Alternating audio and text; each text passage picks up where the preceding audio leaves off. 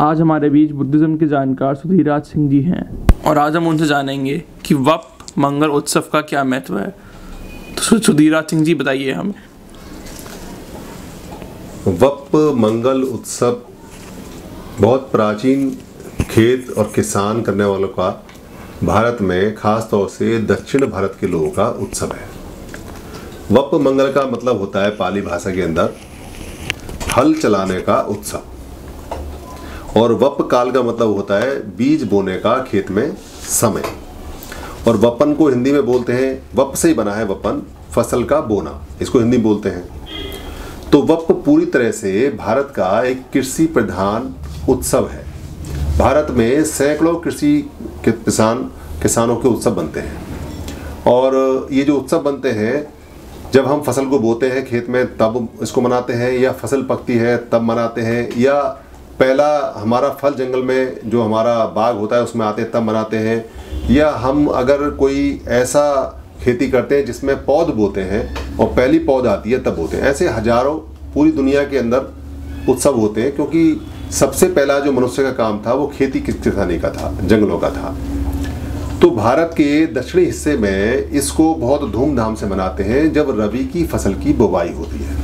रबी की फ़सल की बुवाई कब होती है? जब बारिश पड़नी बंद हो जाती है वर्षा वास लगभग कम हो जाता है। उस समय खेत हमारे तैयार होते हैं। तो भारत में ये समय आता है, ये आता है सितंबर लास्ट में और अक्टूबर के फ़र्स्ट वीक के आसपास में। तो हर साल अगर हम, जो हमारा पंचांग है, पंचांग का मतलब है पंचशील का अंग, जिसमें हम पंचशील के सारे अंग हमारे दर्ज होते हैं, जिसको हम पंचांग बोलते हैं। पंचांग के हिसाब से अगर देखें तो जो भद्र मास है, भद्र मास में जब सूरज जब चंद्रमा आगे बढ़ना शुरू होता है, चौथा दिन होता है उसको। जब वो उजाले की तरफ़ बढ़ता है, बड़ा होता है तो चौथे दिन से लेके और फोर्टीन डे तक, चौदहवें दिन तक इसको हम मनाते हैं। यानी तब हम क्या करते हैं कि सबसे पहले हम पंचानमृत का पाठ करते हैं। पंचानमृत क्या होता है?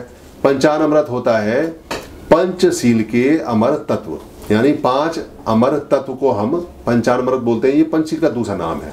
जो हमें कोई अगर कहता है कि ये पंचानमृत है तो पंचानमृत का मतलब है कि वो हमें ये बता रहा है कि ये पंचशील के पाँच अमर तत्व हैं जो आपको ग्रहण करने चाहिए। तो सारे लोग जितने भी हमारे किसान भाई और जितने भी देश के अंदर दक्षिण भारत में खास तौर से जो रबी की फ़सल बोते हैं, वो 11 दिन तक पंचशील को पूरी तरह से पालन करते हुए खेतों में काम करते हैं। क्या काम करते हैं? जो बारिश के समय में खेतों के अंदर जितनी भी घास हो जाती है, घास सबसे ज़्यादा कौन सी होती है? दूब घास होती है। खर पतवार जितना भी हमारा होता है, दूब घास होती है, और भी घास होती है तो उनको निकालते इकट्ठा करते हैं। और उसको निकाल के या तो हम अपने जानवरों को खिलाते हैं, या उसको फेंक देते हैं। तो ये उत्सव का एक हिस्सा है, यानी काम करने का एक हिस्सा है कि घास को जिसने नहीं निकाला, जिसने अपनी घास निकाल के नहीं दिखाई, उसके खेत में पैदावार अच्छी नहीं होगी। तो ये उत्सव का एक बड़ा हिस्सा है। दूसरा बड़ा हिस्सा है उसका पंचशील का तत्व का ग्रहण करना, यानी पंचान अमृत का ग्रहण करना। ये जो तिथियाँ हैं और ये जो सिस्टम है भारत में बहुत प्राचीन है। क्योंकि वप जो है वप का ज़िक्र तब भी आता है जब भगवान बुद्ध अपने पाँच साथियों के साथ में और दीक्षा जो सम्यक सम ज्ञान है उसके लिए मेहनत कर रहे थे तो उनके पाँचों साथी उनको छोड़ के चले जाते हैं। और उन पाँच साथियों में से एक साथी का नाम वप भी है। तो वप को शिक्षा देने के लिए वप को पढ़ाने के लिए भगवान बुद्ध काशी भी जाते हैं, जब उनको सम्यक ज्ञान होता है उसके बाद में। तो वप एक पुराना नाम है, क्योंकि वप अगर भगवान बुद्ध के समय में था तो इसका मतलब ये उत्सव वप का बहुत पहले से चल रहा है। अभी इस उत्सव को भारत के लोग जो जानते हैं या मानते हैं, वो मानते हैं अष्टविनायक रिद्धि सिद्धि गणपति बप्पा मौर्या के नाम से। और ये बड़ा फ़ेमस है, और होना भी चाहिए, क्योंकि बहुत पुराना है, और भारत के लोग जो का है। तो इसमें अष्टविनायक जो है, अष्ट चूँकि संस्कारित भाषा का वर्ड है और पाली में इसको बोलते हैं अठ विनायक। यानी जो अठशील का, अठ विनों का, यानी विनय के नियमों का, आठ विनय के नियमों का अठशील को जानता हो, उसका जानकार। और रिद्धि, सिद्धि रिद्धि, सिद्धि जो वर्ड है वो इद्धि से बना हुआ है। इद्धि पाली में हम बोलते हैं, अलौकिक को जो लोक से परे है, अद्भुत है, अलग तरह का है। यानी आम मनुष्य से अलग हटके जो ज्ञान है, इसको साइकोसोमेटिक ज्ञान बोलते हैं, यानी मन मस्तिष्क का जैसे काम करता है, उस ज्ञान को अलौकिक ज्ञान बोलते हैं। यानी लोक में तो हम एक साधारण बातचीत करते रहते हैं, मगर अगर हम मन की स्थिति को अंदर तक जान लें और पहचान लें तो उसको अलौकिक बोलते हैं। तो वो अलौकिक ज्ञान जो होता है, वो इद्धि बल, यानी रिद्धि बल होता है। इसको इद्धि बल बोलते हैं, इद्धि मंतु बोलते हैं, यानी अलौकिक संपन्न, यानी कि साधारण ज्ञान से गहन ज्ञान को अलौकिक ज्ञान बोलते हैं। इद्धि विषय भी हो, यानी अलौकिक विषय। साधारण ज्ञान से परे के विषय, जो साइकोसोमेटिक यानी मन मस्तिष्क के, जो मन की स्थिति के ज्ञान होते हैं, जो भगवान बुद्ध ने अभिधम्य में हमें बहुत अच्छी तरह से बताए हैं। और सिद्ध का मतलब क्या है? हम कहते हैं, ये बात सिद्ध हो गई, वो बात सिद्ध हो गई, अब ये बात सिद्ध हो गई। सिद्ध का मतलब है पूरी हो गई। सिद्ध का मतलब है जानकारी में हो गई। और अगर किसी आदमी ने कोई बात सिद्ध कर ली तो वो सिद्धि हो गया। सिद्धि का मतलब है कि उसने सफलता प्राप्त कर ली। तो अष्ट विनायक रिद्धि सिद्धि, यानी कि आठ नियमों का जानकार, जो अलौकिक यानी मन मस्तिष्क के ज्ञान में पारंगत है और उसको सिद्ध कर चुका है सफलता कर, कर चुका है। क्या नाम है उसका? गणपति। तो गण किसको बोलते हैं पाली भाषा में? पाली भाषा में गण का मतलब है एक समूह को बोलते हैं। और भगवान के समय तो जो भिक्खुओं का समूह होता था उसको भी हम गण बोलते थे। और जो भिक्खुओं के गण का नायक होता था उसको हम गणपति बोलते थे। इसको गण ईस भी बोलते हैं। ईस जो पाली भाषा में ईस का मतलब है रूलर या मालिक। यानी पति का मतलब और ईस का मतलब सेम है, दोनों सेम है, मालिक या रूलर या जो उसको संघ को या जो समूह का नायक हो, जो उसको दिशा निर्देश दे डायरेक्शन दे और बताए कि ये बात है या उससे ज़्यादा जानकार हो। तो ऐसे करके तो रिद्धि, सिद्धि, गणपति अष्ट विनायक और वप्पा, मोरिया, यानी वप्पा पुराना शब्द है जो इसमें समाहित है, जिससे हमें पता चलता है कि प्राचीन काल का है। और मौर्य यहाँ दो शब्दों में आता है।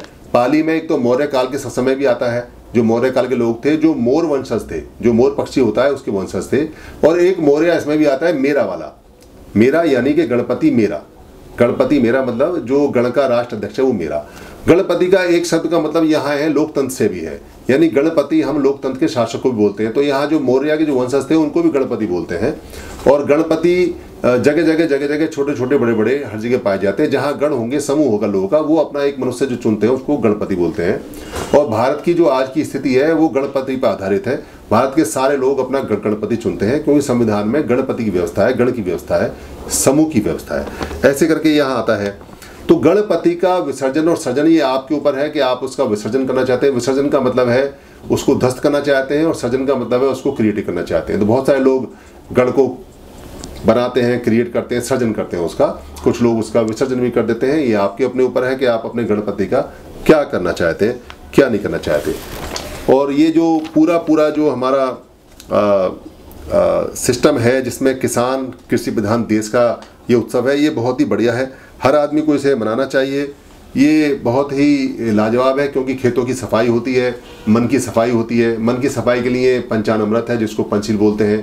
पाँच अमर तत्व और खेतों की सफ़ाई के लिए हम जो दूब घास है वो निकालते हैं, सारी घास खरपतवार निकालते हैं और किसानों को इसको ज़ोर से मनाना चाहिए। क्योंकि अब किसान तो वहीं रह गए खेतों में और शहरों में ये मनाया जाता है तो शहरों में सिंबल के रूप में या एक छोटे सी मान्यता के रूप में कहीं घास हम उखाड़ के ले आते हैं और इसको मनाते हैं। बाकी लोग अपनी खुशियाँ मनाते हैं क्योंकि शहरों के अंदर खेत तो है नहीं और ये अपने प्रारूप में और अपने जो मूल रूप से थोड़ा सा परिवर्तित हो गया है। धन्यवाद।